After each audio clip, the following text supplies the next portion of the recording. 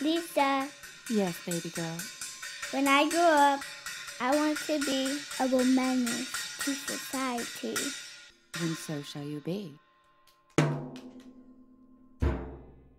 Hey, this is Lisa Landry. Welcome to Womanist to Society, and I hope you'll please welcome with me Kenneth Ray Stubbs, PhD, shaman, certified sex instructor, and masseur. Welcome, Ray. Thank you. Good morning. Good morning. Now, you've authored 10 books, and I noticed that your sex guides have sold more than a half million copies.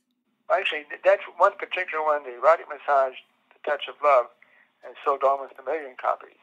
I self-published it, uh, and there was no book out there at the time that uh, illustrated male and female genital massage. There were massage books. Some massage books talked about genital massage, but no one illustrated it. That's very impressive. I'm very thankful that the society opened up because I think it's very important to acknowledge the genitals just like any other part of the body. These were all in very good taste because you have to realize this is back in 1986. And now it's like, I don't know how many books out there with the concept of erotic massage and then illustrations and photography and just, you know, it's very, very common now, but it was cutting new ground back in uh, late 80s. Right. Well, you were you were breaking new ground, coming out with something that had probably been pretty taboo before Yeah, you decided to do this. And what was your inspiration for putting that book together? back then, pretty much the only thing we had around 1966 was Masters and Johnson, where they observed with instrumentation the, the event of orgasm and came up with a definition of orgasm. We didn't have sexology, the 101 classes before that. When I was in grad school in the summer, I, I was an intern for Planned Parenthood, so I had, had an opportunity to read a lot more and film clips uh, and all that. So I had a little bit of a, a education in sexuality, human sexuality, uh, from an academic point of view or informational point of view, rather than from a porn point of view. Eventually, when I did my hippie trip and ended up in San Francisco, I went to massage school in 1973. And I went out there and started doing massage in the world and both teach a short-term classes. I really felt that the massage profession was in denial around sexuality uh, because the, the genitals were very taboo and the anus. Uh, the massage school I had gone to did include breasts, and that was pretty avant-garde, but that was San Francisco in 1973. what a time to be alive, huh? Oh yes, yes. there was a, a wonderful opportunity there, and I jumped. This was uh, all pre-AIDS and everything, so that uh, you know you just you just stepped in and tried everything, and fortunately I survived. um, and uh, some people did not, but Yeah. because a lot of things were new and we didn't understand. We had become much more educated. Anyway, uh, I felt that the massage profession was in not on sexuality, and uh, I knew that when people went to massage seminars, that once they got home and they were with a lover, that they were going to be applying that massage to uh, exploring it with their uh, lover's genitals as well. Uh, and so I thought, well, why don't we just teach a class and how to really include this? So I put together a class and called erotic massage. And at the time, the term of choice was sensual massage, and that would imply including the genitals. And I, I said, let's let's be more explicit here because sensual massage, in my mind, did not necessarily imply that, but erotic massage was more likely. So I started teaching. Uh, um, I think in 19, 1975, 1976, erotic massage classes. And they went very, very well. It was open to people of all sexual orientations. However, I found even in avant-garde San Francisco, uh, it was very hard to get the gay and lesbian couples coming to a general seminar. So eventually I did a specific gay male uh, erotic massage courses and uh, did a few for women. But everybody was welcome to come to all of them all the time. And it was always for twosomes. And it included genitals, but also included uh, foot bathing, feathers, and ferments. It was mainly massage, but it was a general pleasuring. It's about looking at the whole body as a pleasure zone rather than two or three or four or five different places it's always in the magazines they talk about the erogenous zones. So I, my perspective is that the whole body, if you become aware and if you're you're open to it, it, it in a sense, it's a whole erogenous zone. So eventually, then I wrote uh, a manual on that, and that went nowhere because uh, I wrote it for all anatomy types. We were starting to consider then uh, what was called, well, now it's called transgender. At the time, it was uh, transsexual, but that term has become out of not so popular now. Yeah, it's transitioned. the politics of language around sexuality is pretty narrow, but it that's how people are. I have a background in sociology, and so people get caught up in, you know, it's called this, it's called that, when it's just not really important. People get caught up in labels. You're right. We get caught up in labels.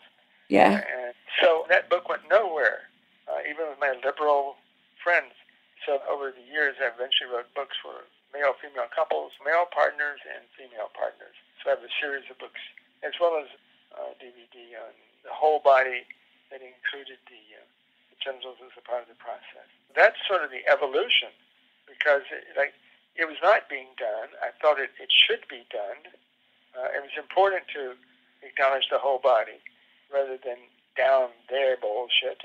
Course, you can say down there if you want. but, but but at the time, it was sort of like, oh, down there, the dirty stuff. Eh.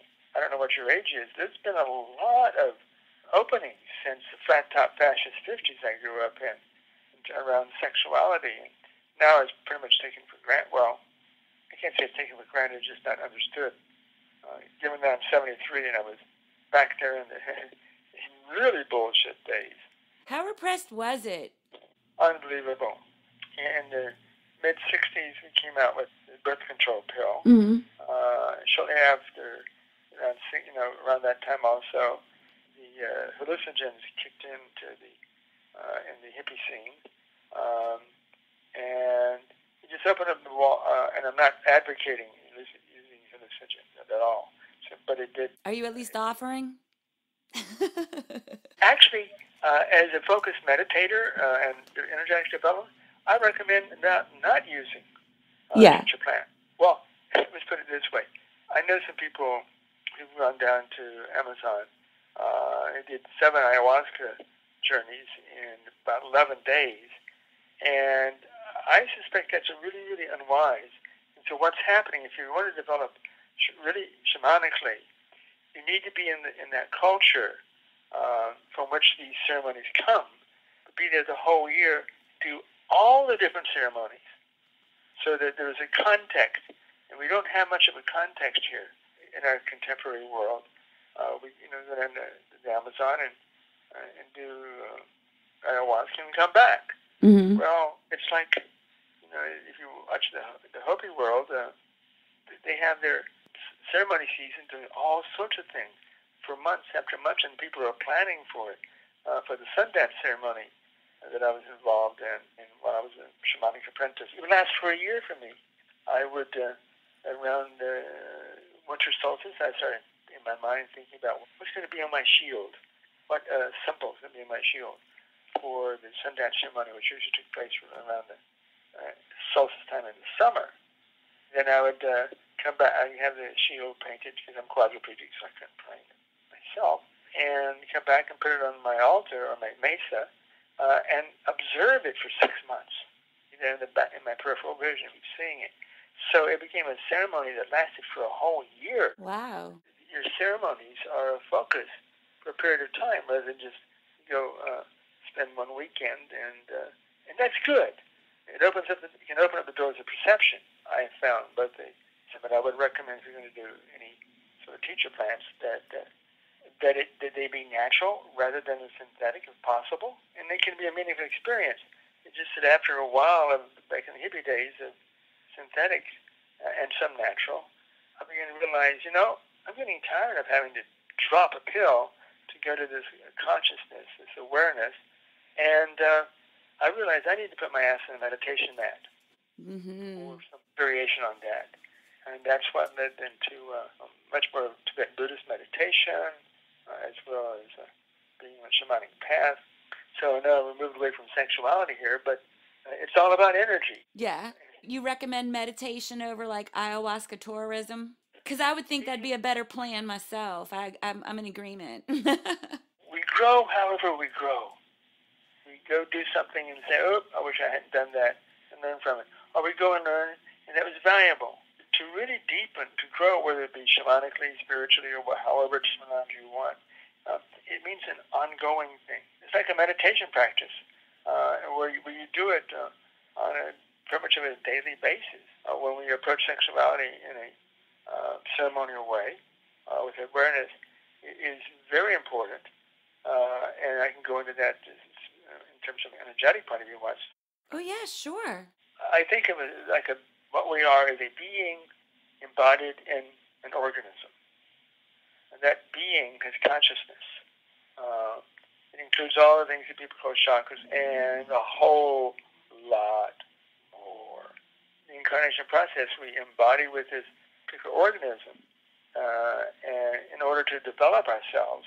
Um, and sexuality is, is an essential part of our embodiment because one, it continues the species, uh, but also it is a way to get more energy. In fact, there are only two ways to really get more energy into the being. I'm not talking about eating carbohydrates uh, for the organism now. I'm talking about for the being to get energy. And that is, one is orgasm, and I see, I think, of four different types of orgasms, some of which are like mystical experiences, other than what people think of as orgasm. But orgasm, to me, technical definition is manifesting more elemental energy or more chi. In the process, somehow, in the process of doing something such as a sexual orgasm, we literally bring in what's already within us more what I would call energy. And that energy is what's used to develop these energetic structures, which enables us to develop spiritually. I mean that very, very literally. Having to, to be dependent upon the priest or priestess or the pope to be absolved of your sins and, and all that stuff, um, because these religions that focus that seem to focus on controlling your your sexuality as well. Yeah, they really do. That kind of seems to be a theme. To be more one with God, to be able to commune with God, source, goddess, whatever term we want to use, uh, which is non-gender specific in my point of view. Um, Amen. We need to develop certain energetic structures, uh, which everybody has. But the Dalai Lama has simply done what most people have not done. Inherent in nature are certain energetic structures that can be developed. Um, and the difference between the Dalai Lama and most people is he's developed them over many lifetimes. It's not just simply, oh, sit down and meditate and you develop them. It, it's much more involved and extensive than that. But the to develop these energetic structures, you need more energy, not carbohydrates, but more energy. I mean, bringing in literally more energy for us to develop ourselves. And that energy comes in via orgasm. That's the most common way it is available. Uh, but I can go into four different types of orgasm if you want. You know. Sure. There is a second way, uh, which I've just come to understand in the development of what uh, in Tibetan Buddhism is called the rainbow body, where you have direct access to the, uh, we might say, primordial energy, or what I would call light, which I define as the um, as the undifferentiated primordial essence of existence, where and this, this undifferentiated, so that everything is everything is everything. So this is where everything originates. If we can access that, we can, in a sense, eventually uh, uh, access uh, unlimited energy. Um, so, but that's really much high down the line before you, uh, uh, when we develop the uh, rainbow body, but I've only in the last year come to have that understanding. But the point is that the most accessible way for people is to have a sexual orgasm. That's how you get more energy uh, for our being. Again, uh, the carbohydrates for the organism. Mm-hmm. Uh, and there are other types. And for those people who went into Tantra and Quddhishka, uh, there's a lot of focus on what I would call the light body, um, and rather than the physical body. Uh, and people are doing various breathing exercises, but various meditations, uh, Uh, and you have other types of orgasms, which in the case of the male, uh, uh, what a lot was, really popular a few years ago, well, 20 years ago maybe, uh, about the multiple orgasms for men. Yeah, I was just going to ask you if that was a real thing. Well, that's a real thing, but it's not a sexual orgasm. Maybe it may feel sexual, but it, it, it's a different energetic structure. First of all, orgasm um, is different than ejaculation. It's the organism that has ejaculation, and therefore, when men have an ejaculation, they roll over and fall asleep because the body says, uh, pri- you know, primary objective here is continuation of the species, and that means we've shot our wad and we need more sperm. You know, so roll over and fall asleep and get that done. You say, well, yeah, you got to, where does, where does energy go? Well, that's a different type of energy. You still have to deal with uh, reproduction of more sperm. Uh, and that's a biological process. And maybe give a few cuddles. Yeah, yeah I know. Oh, yes, it's, it's a possibility, but the point is, it's a real tendency for a lot of males to roll and fall asleep. Uh, so I've been told. If you learn to have what I call light body orgasms, you usually don't ejaculate, although you could. And you can just have one orgasm after another, after another, after another and it appears to be similar to female orgasms. These are real orgasms, be very explosive, and they can occur uh, in the pelvic area, in the abdominal area, in the chest area, or the, the whole being.